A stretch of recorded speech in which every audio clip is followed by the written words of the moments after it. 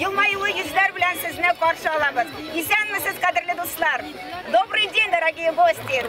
Мы угощаем вас караваем и чак-чаком.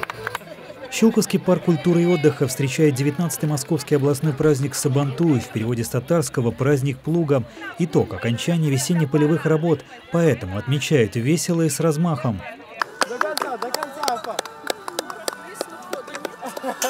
Когда в молодости, в детстве я тоже таскала также воду.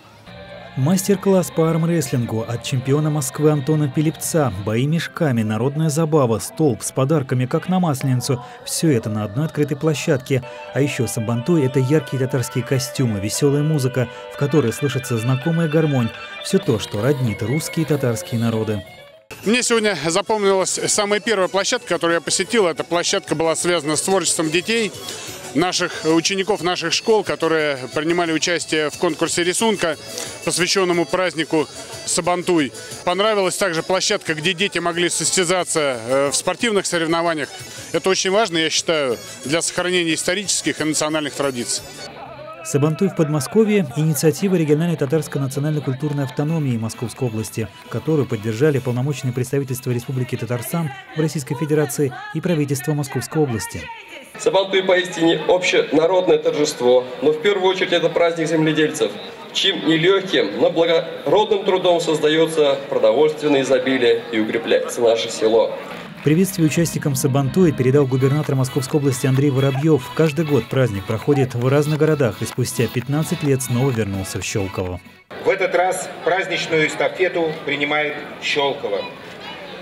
Не сомневаюсь, что народные гуляния, содержательные просветительские беседы и творческие мероприятия станут замечательным подарком к юбилейным датам муниципалитета и всей нашей Московской области.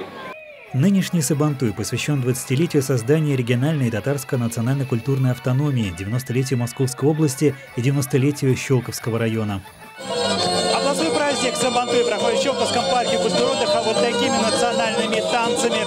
Ведь и сегодня праздник плуга, праздник, когда люди только закончили посевные работы и будут отмечать новый урожай, который, конечно же, будет богатым. Делегация Лаишевского района Республики Татарстан привезла на праздник свои творческие коллективы, мастеров-прикладников и коллекционеров древностей. Мы уже третий год подряд приезжаем своей делегацией, чтобы поучаствовать в этом замечательном празднике и привозим своих артистов показать именно как наши ребята выступают. Я горжусь этой куклой. Дело в том, что эта кукла специально разработана для Лаишевского района, для фестиваля, который называется «Каравон». «Каравон» – это испокон а, русский славянский праздник на татарской земле. И какой же Замбантуй без национальной кухни? Главное блюдо – вяленая колбаса и медовый чак-чак. Самый интересный чак-чак. Самый вкусный, да. Чай пить.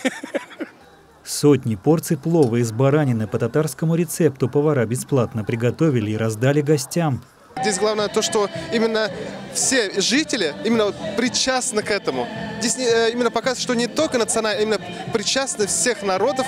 И здесь вот именно на Щелковой земле, опять же, показывается это лучшим образом. За активное участие в развитии и сохранении культурного наследия татарского народа и укреплении межнациональных связей руководство Лаишевского района отметило Сергея Горелова и его заместителя Юрия Родионова почетными грамотами. Гости и хозяева обменялись подарками. Большой праздник для нас, традиционный наш любимый праздник Сабантуй. Мы с Орехово-Зывы приехали с подмосковного в гости специально. Центральное мероприятие Сабантуй – это, конечно же, бои на поясах.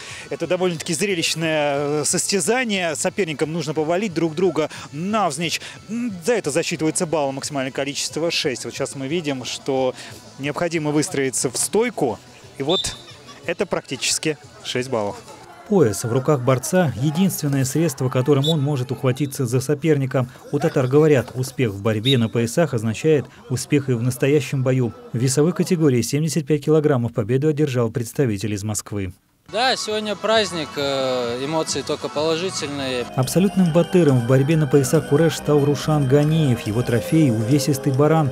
Следующий Сабантуй в Московской области пройдет в 2020-м в Красногорске. В напоминание об этом Сергей Горелов передал принимающей стороне статуэтку скачущего коня – символа праздника парке весело, народ отдыхает, вот это главное. И мы сегодня действительно вот уже передали эстафету следующему городскому округу Красногорск передали эстафету в следующий год, уже там будет. С пожеланием дождаться большого урожая непременно в этом году Михаил Налетов, Андрей Цеханович, Станислав Беляев, Валерий Жиглей, телерадиокомпания «Щелково».